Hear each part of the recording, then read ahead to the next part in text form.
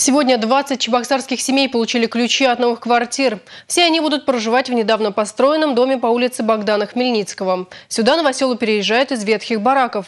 С праздником горожан поздравил и глава Чувашии Михаил Игнатьев. Постоянно протекающая кровля, ветхая проводка, удобство на улице. Все они познали, что это такое жить в спартанских условиях. Многие из этих семей ютились в аварийных домах более 40 лет. Ключи от новой квартиры получила и Надежда Воронова. Женщина говорит, лучшего подарка в преддверии праздника не придумаешь. На гражданке я жила 70-го, мне было 19 лет, я пришла туда. А сейчас мне 66 лет. Были очереди у нас, конечно, как говорится, квартиры получать, но все это прошло. Вот дождалась этих ключей. Спасибо.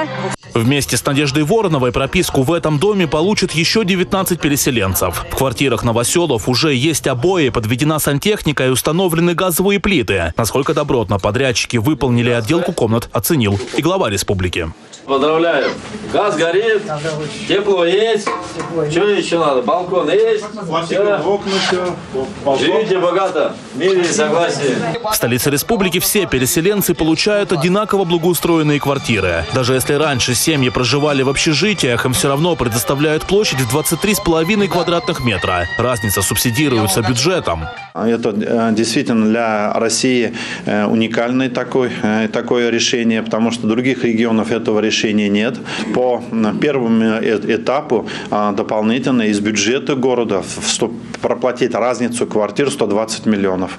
Квартиры для переселенцев застройщики предоставили безвозмездно. Территорию, где сейчас стоят бараки, власти города отдадут этим же подрядчикам для дальнейшего строительства жилья.